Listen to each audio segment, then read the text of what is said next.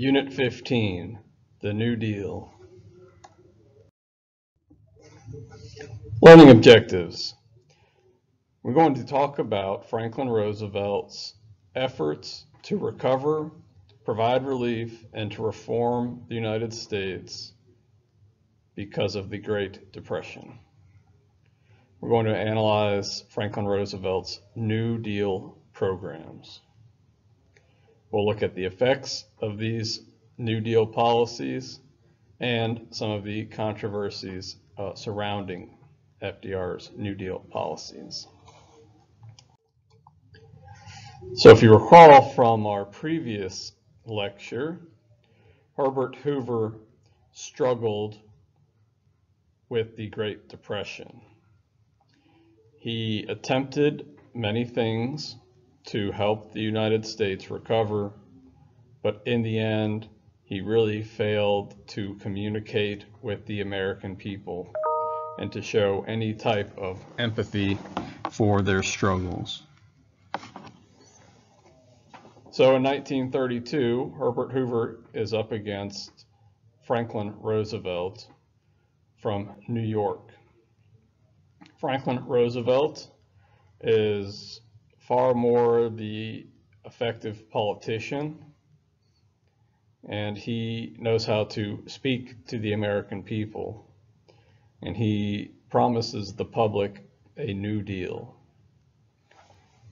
Well, Franklin Roosevelt's rhetoric helps him get elected.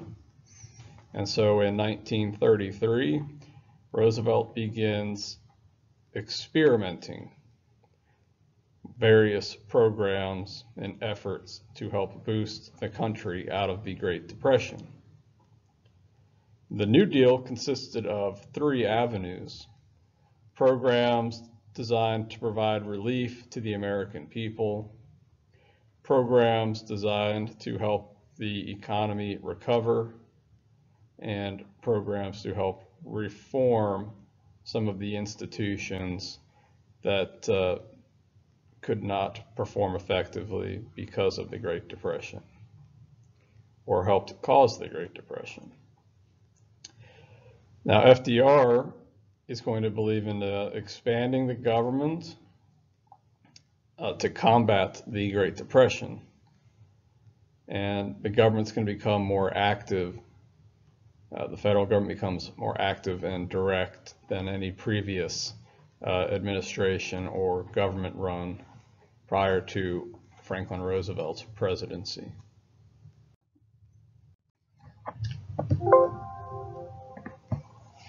Let's start with Franklin Roosevelt. Franklin Roosevelt, a distant relative to Theodore Roosevelt, he's often referred to as FDR.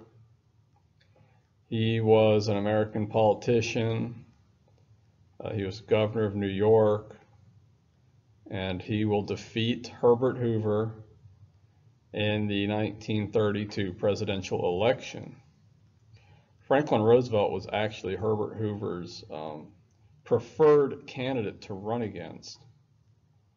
Um, during the summer of 1932, FDR spent far more time campaigning than Herbert Hoover and Herbert Hoover uh, continues to struggle with Great Depression issues such as the bonus army. Um, this allows for Franklin Roosevelt to defeat Hoover in the election, becoming the 32nd President of the United States. And during his inaugural address, he speaks directly to the American people, talking about providing relief, and how the only thing Americans have to fear is fear itself. So FDR, uh, with many advisors and uh, from the top fields uh, in American policy making and economics, starts to build a plan that will become known as the New Deal.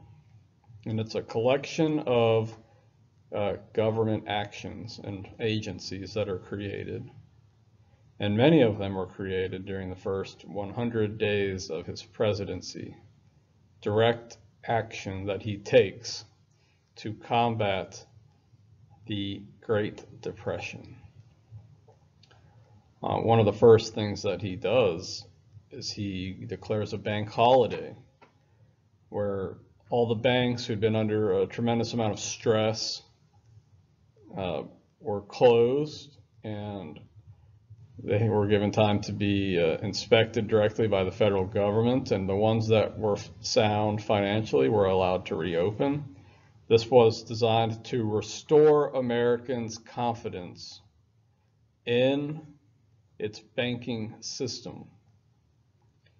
He creates the Civilian Conservation Corps to get the unemployed young men out of the cities to help restore nat America's natural resources.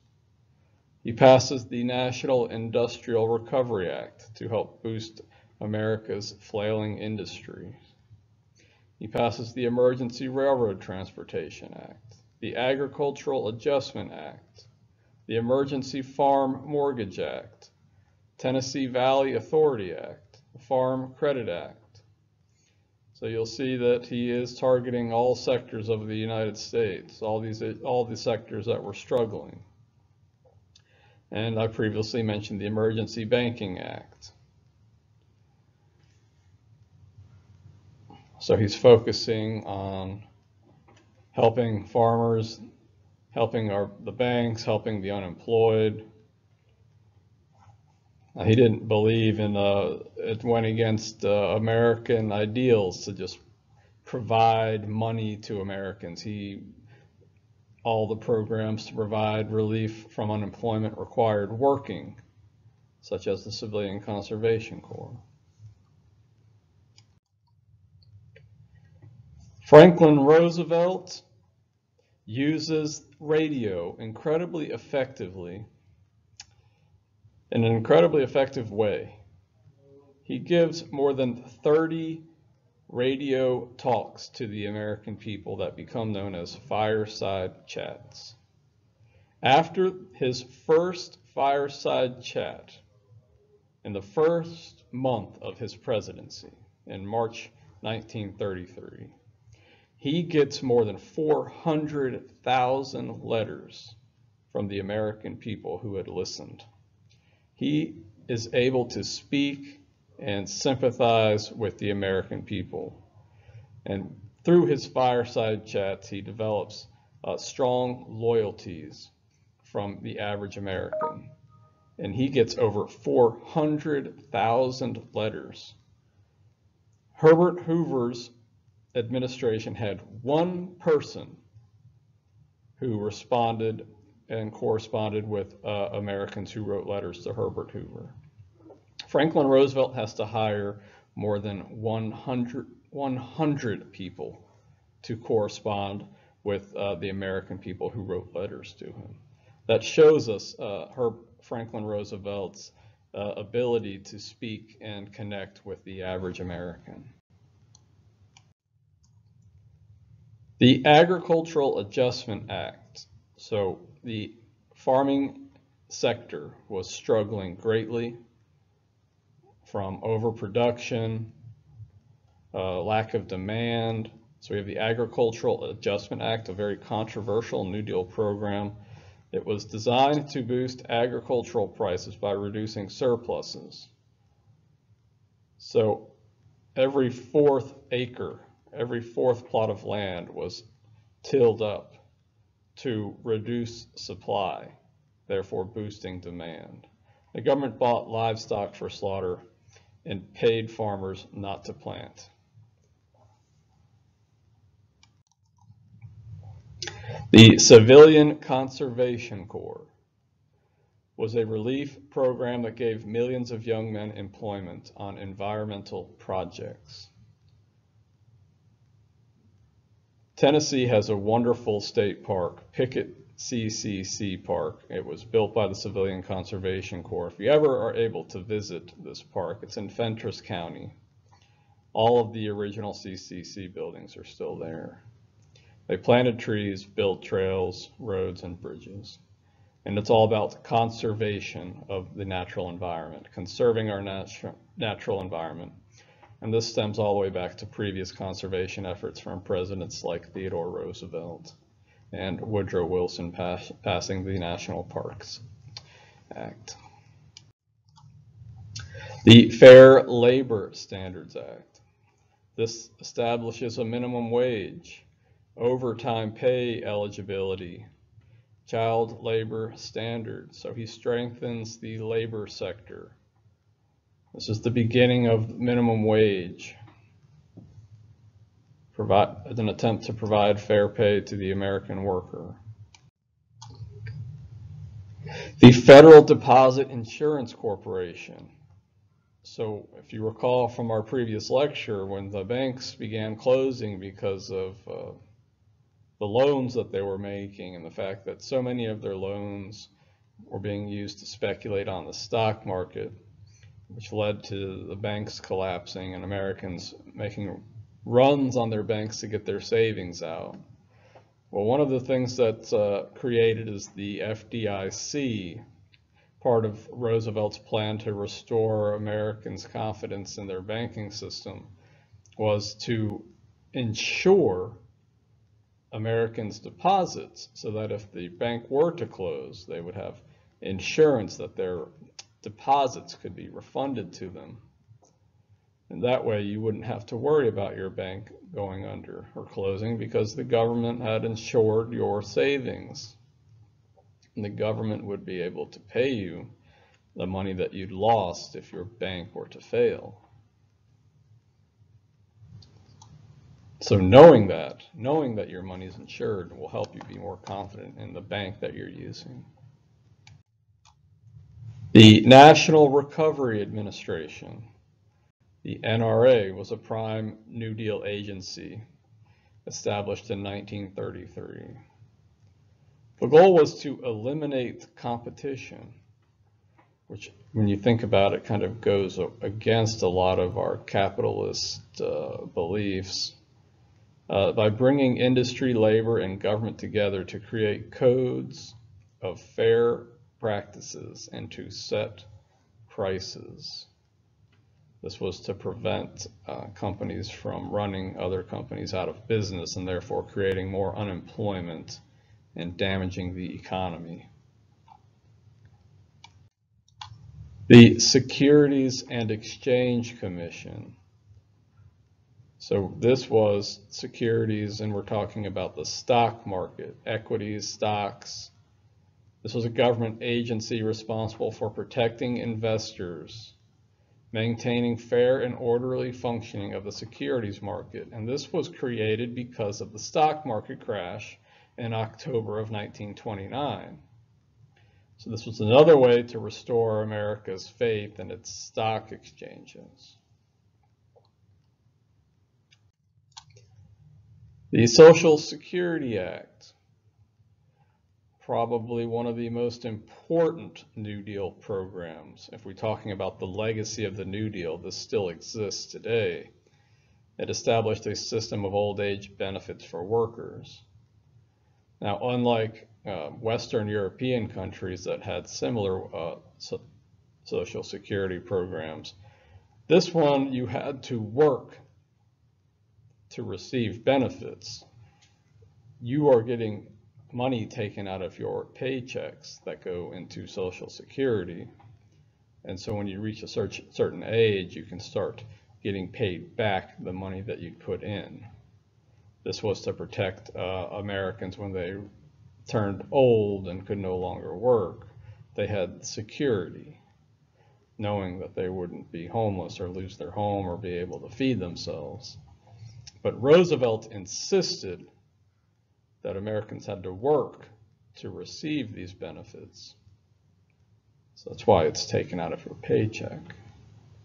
He knew that the American people wouldn't want Social Security to be directly funded uh, by the United States government like it was in other countries. The Tennessee Valley Authority this agency was designed to assist one of the poorest regions uh, in the United States, the Tennessee Valley region, which suffered from uh, flooding, uh, lack of electricity, lack of employment opportunities. And so what the TVA did was it built dams, 19 dams along these rivers that run through the Tennessee Valley. These dams provided flood control, electricity, and jobs. Most of this region did not have electricity until Tennessee Valley authorities created. Now this program still exists today and it's out of all the New Deal programs, this is one where it's more of a national, nationalized uh, industry in this region over electricity.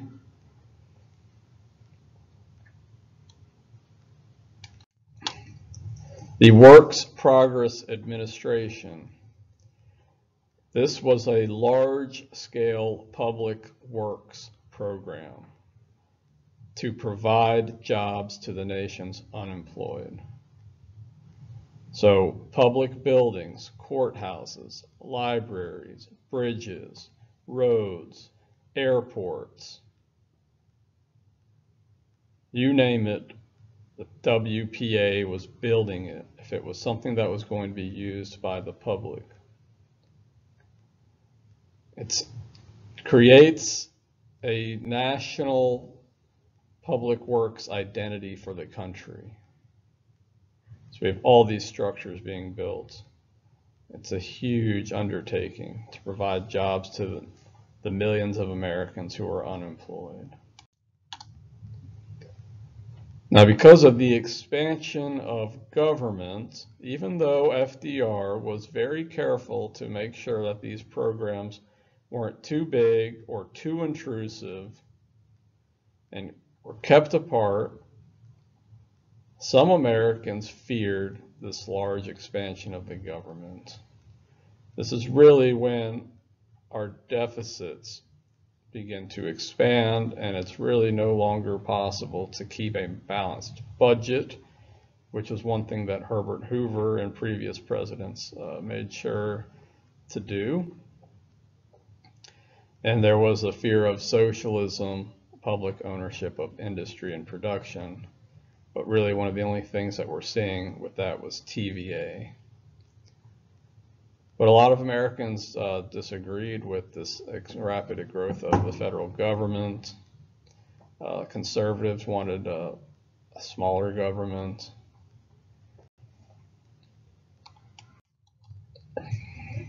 Well, some of FDR's programs were quite controversial, and what ends up happening is the Supreme Court starts uh, ruling them unconstitutional, like the Agricultural Adjustment Act. FDR feared his New Deal would be destroyed, so he came up with a plan to add additional Supreme Court justices to the Supreme Court, and these justices would all be loyal to FDR, and they would vote yes on his New Deal programs, and his, his legacy, the legacy of these programs would continue. Well, it was incredibly unpopular and uh, it doesn't happen. it's one of FDR's great blunders was trying to pack the Supreme Court. But uh, luckily for FDR, many of the justices who opposed his New Deal programs were old and they retired. And FDR was able to replace them with pro-New Deal justices. Let's look at our timeline. 1933, Franklin Roosevelt's presidency starts. That's when we have the first 100 days of the New Deal. So we had all those programs previously mentioned, like the Civilian Conservation Corps, TVA. Two years later, we have the Social Security Act is passed. Works Progress Administration's created.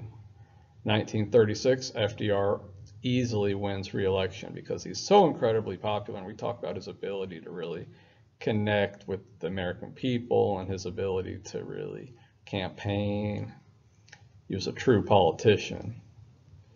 Uh, 1937, FDR attempts to pack the Supreme Court. And then we'll start talking about uh, World War II begins in 1939 when Germany invades Poland and FDR wins an unprecedented third term in 1940 to show that he uh, demonstrates his continued popularity, despite the fact that the New Deal fails to get the United States out of the Great Depression. It won't be uh, until we begin manufacturing arms and weapons for World War II that the United States truly recovers from the Great Depression.